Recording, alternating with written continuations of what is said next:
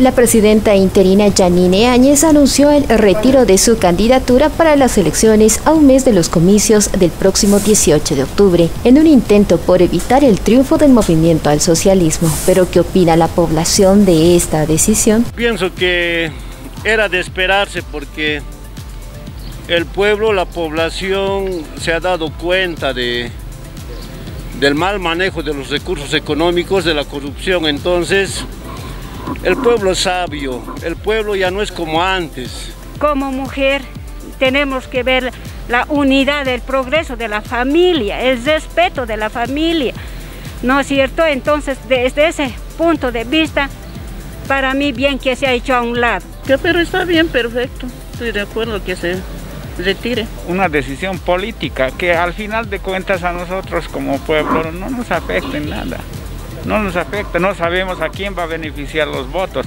De repente un porcentaje grande se va a ir hacia el más. Me parece una buena decisión.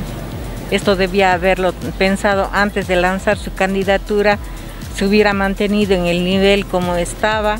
Ahora ha bajado mucho su nivel, la gente ya no la mira con los mismos ojos. Eh, es una pena porque una mujer muy valiente, de mucha personalidad, ¿no? hubiese, hubiese terminado la misión que ha sido encomendada y, hubiera salido por la puerta ancha. Bueno, ya era una crónica de una derrota ya anunciada porque ella entró como un gobierno de transición y no como candidata. Obviamente eh, estaba cumpliendo una dualidad de funciones y lamentablemente el pueblo es eh, quien decide y las encuestas han sido decisivas. Y no solamente tendría que dar un paso al costado Yanine, sino todos aquellos que no alcancen ni siquiera el 10% de apoyo ciudadano eh, de acuerdo a nuestras encuestas electorales.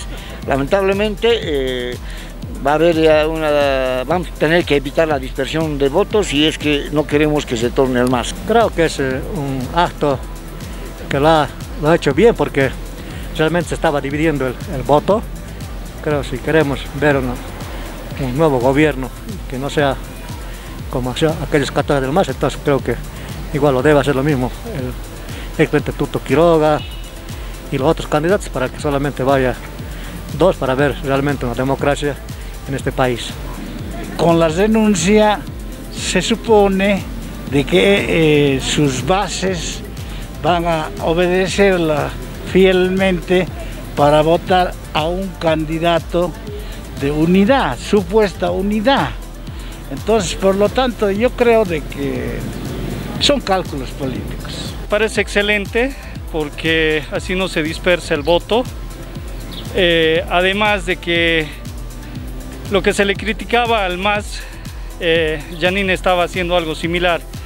No se puede ser eh, presidente y candidato a la vez el manejo de los usos de los recursos, etcétera, etcétera, etcétera. Entonces me parece bien, solo que me hubiera gustado que sea mucho antes y no 30 días antes.